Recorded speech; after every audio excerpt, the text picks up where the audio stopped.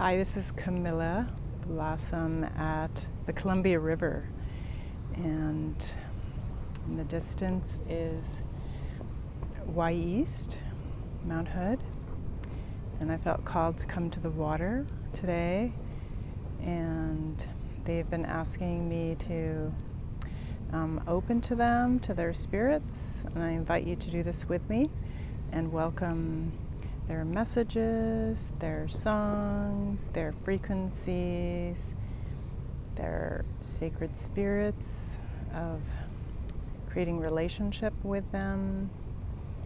And I'm just going to open and see what they would like to share with us today.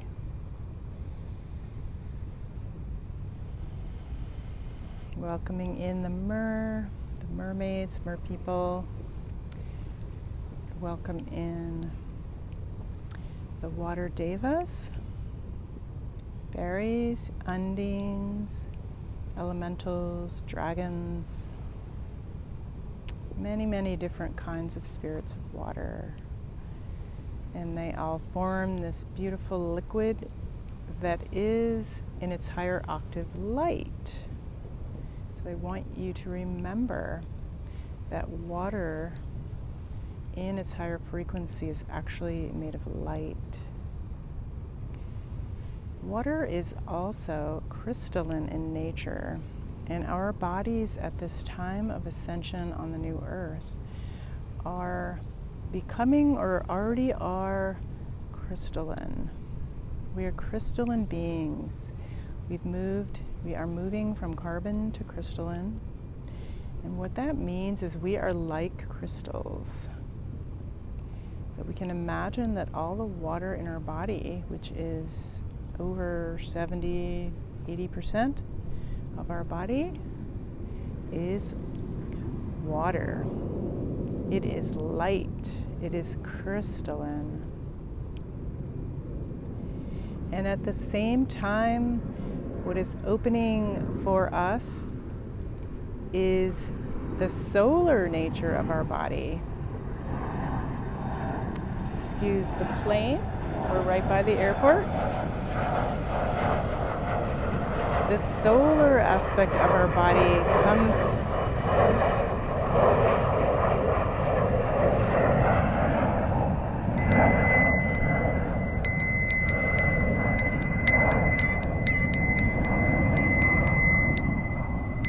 comes through the sun, solar sun. The water connects very deeply with the sun, with the solar dragons of all different colors, with the rays of the sun. If you see the sparkly on the water, I'm going to turn it for a moment so you can see the sparkles out on the water.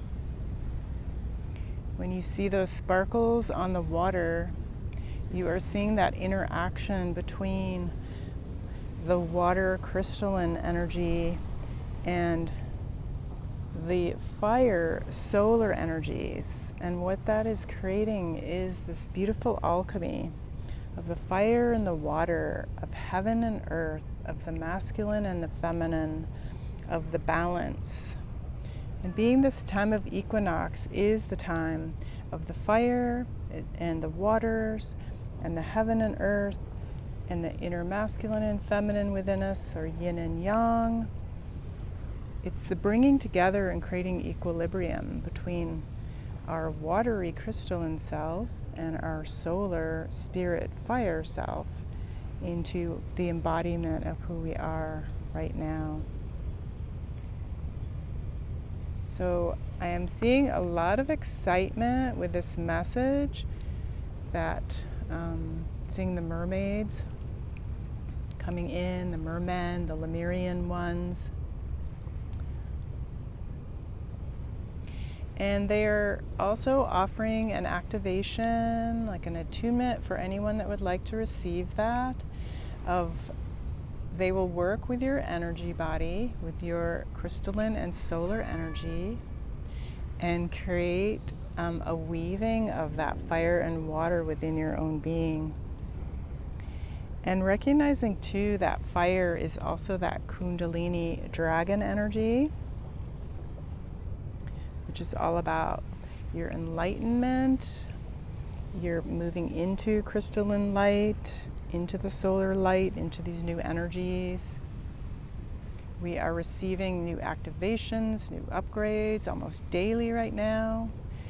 So, this offering through the waters is to support you in this um, opening, this blossoming, this allowing for this energy to run, to flow, to move, to dance through your energy system.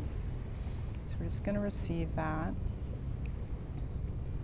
I'm also seeing the plant mugwort coming in, a little plant medicine from those spirits, the plant spirits of mugwort. And we'll just open. I was working with a grandmother willow this morning too. It feels like that's connected, that I was, um, the willow is right here.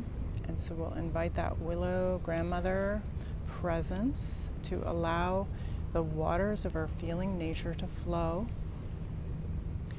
and give ourselves permission and acceptance to um, feel, to cry, to feel grief, to allow sometimes the very vulnerable aspects of um, our humanity, which is very tied to water.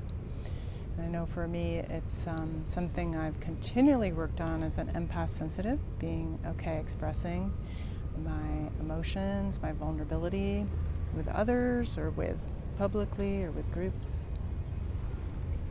So allowing the water to allow that vulnerability. And we'll open to the mugwort. So that spirit of the mugwort is coming in. It actually was in the offering um, I made. So um, you see Yeah, we have some mugwort in here with lavender and rose petals and mica.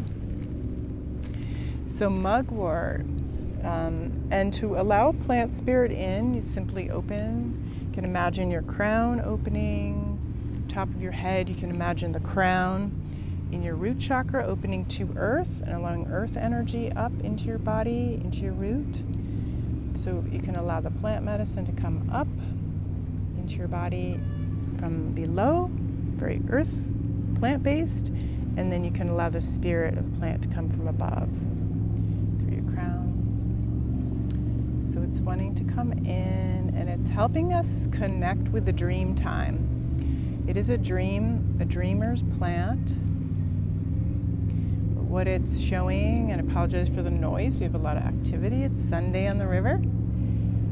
That the mugwort is helping us dream, recognize that we are dreaming our lives.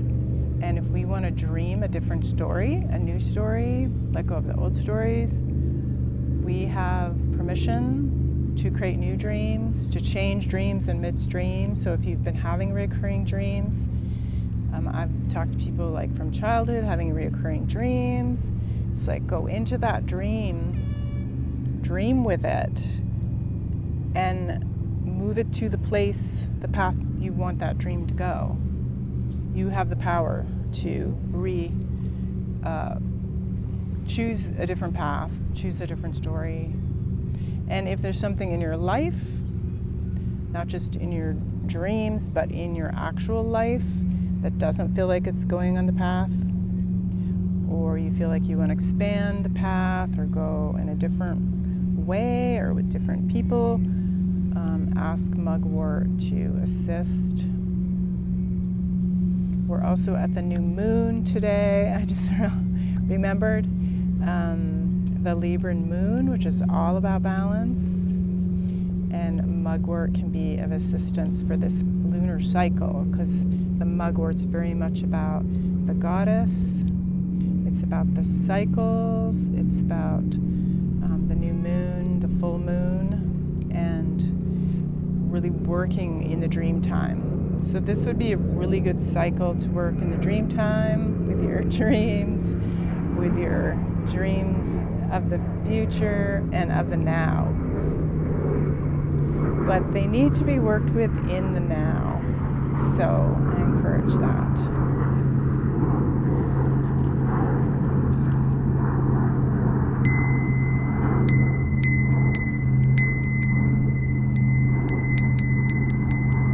And just to close, I'm going to ask the mermaid that's with me. Seems like she's got some more messages, and also open. You may be getting your own messages, um, your own feelings. That is how water elementals communicate, is through your feeling body. So it's not necessarily words, it's not necessarily even sensations or something you can understand. It can be a pure feeling energy and trust that. That's the most important thing. Um, the language of nature is through our heart, it is about feelings, it's how we feel and vibe in with our feelings and that kind of energy. So I'm just going to open. I think that's part of what she wanted to communicate got more planes going on. Woohoo!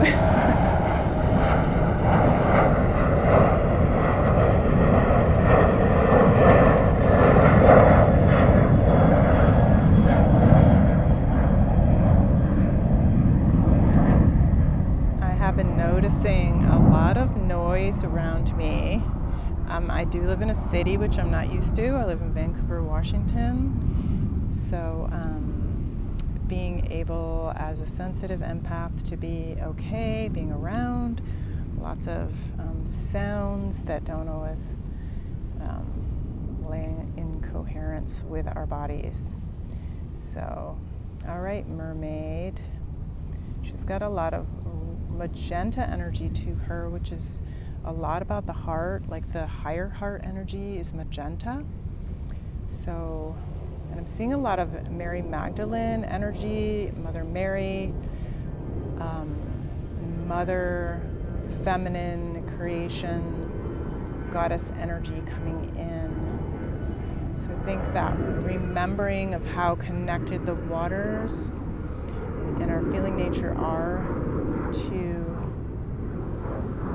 heal, to open, and allow yourself to receive from um, Mother Nature, from Mother Earth, from the cosmic Mother, Mother God, Mother Mary, Isis, whoever you can relate with, your own mother, whoever you can relate with, a tree. Find someone who can be a mother to you where you feel comfort, where you feel loved, where you feel um, reassured and given hope. It may be a person, a teacher, a grandmother.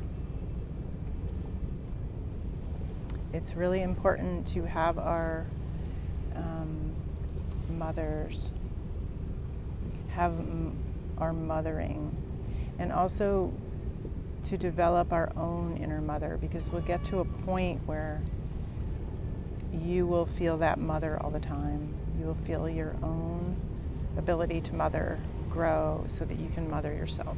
You can be your own mother because you know you are fully connected. I feel this that I'm connected to Mother Earth and to the spirit grandmothers and to the cosmic womb of creation, uh, God goddess, all there is. So allowing yourself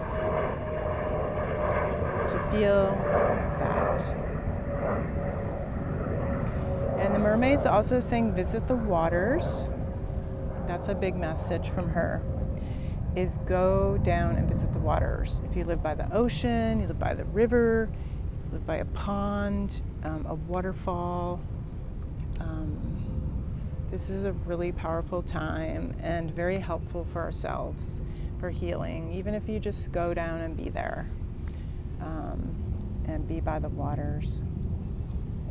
And the mermaid said she will be there for you at the waters. um, you can meet her there, or you can meet your own mermaid. She'll turn you on to your own mermaid or water spirits, elementals. Um, she really wants to work with each one of you. She wants to be there for you, help you. They all do, all the elementals. They're waiting to work with us. So, this is also a message that they're waiting for you.